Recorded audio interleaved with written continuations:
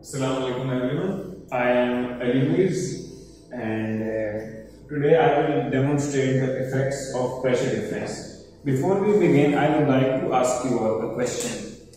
Uh, for example, you were given a choice between sitting in a bus that is full of people, like there is not even place to stand, and there is another bus that has only few people in it, and you can sit easily in there. So, which one will you go for?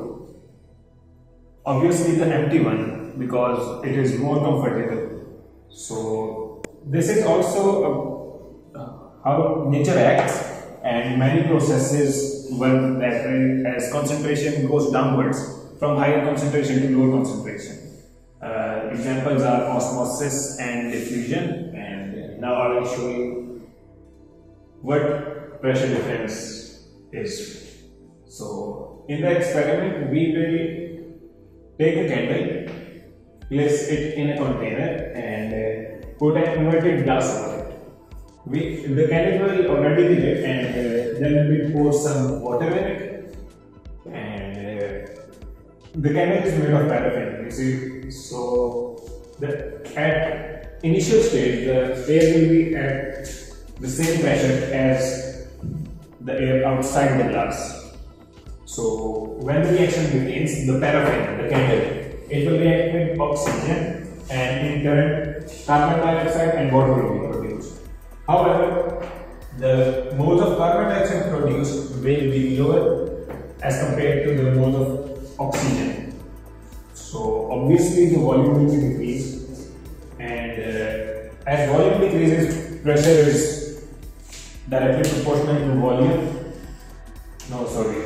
I messed up. Pressure is inversely proportional to volume and uh, as pressure increases, volume decreases and because of the pressure difference, water will begin to rise up and uh, water level will rise in the glass and decrease in the container obviously.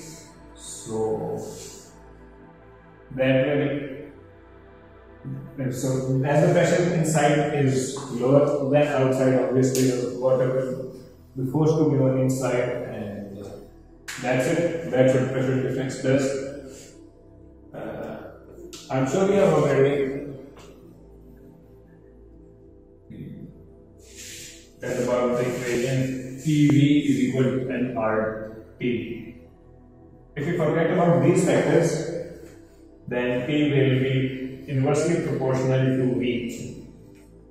This proves pressure is inversely proportional to V. So that's it, I guess it summarizes for you. Okay, so now we are going to display the effects of pressure as we displayed earlier. Now I am lighting up the candle and I place it over this plate or container or whatever you want to call it. Okay, let's let it let it stay like this for a while. Now I will invert this bottle over it. Okay, slow and steady.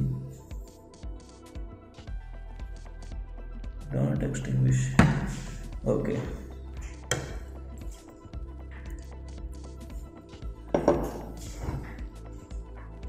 Now as you can see the water level in the bottle is rising. Slowly but it is rising. This is because of the pressure difference. Because the volume of gas inside the bottle has become lower than earlier and thus the water level is rising.